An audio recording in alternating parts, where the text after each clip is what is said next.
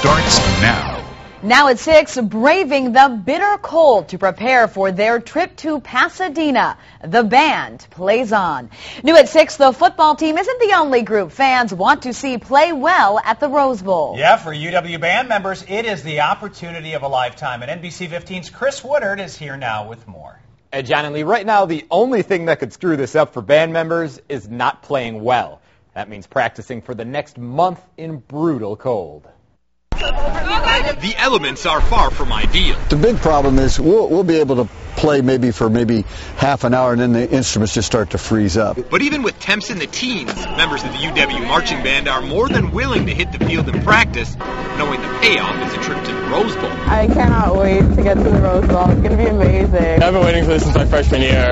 I mean, the Rose Bowl is every, everyone here, that's their dream, is to go to the Rose Bowl. And much like the football team they're following, if they don't practice, they won't play well. No option.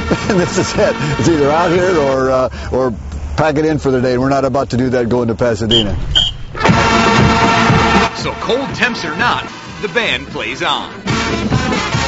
With piles of snow lining the practice field here in frigid Wisconsin, and even some patches of ice on the field, everyone out here is pretty anxious for the warm temperatures of California.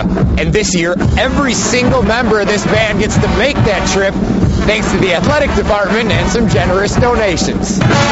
Transportation for about 300 band members and their instruments, and lodging for five days in California. The most you can do to thank them is just go out there and perform the best you can. It's a trip that can be quite an undertaking. We've been in the bowl business for a while thanks to the football team, so we've kind of got a pattern down. And much like practicing in the cold, the Rose Bowl makes it all well worth it.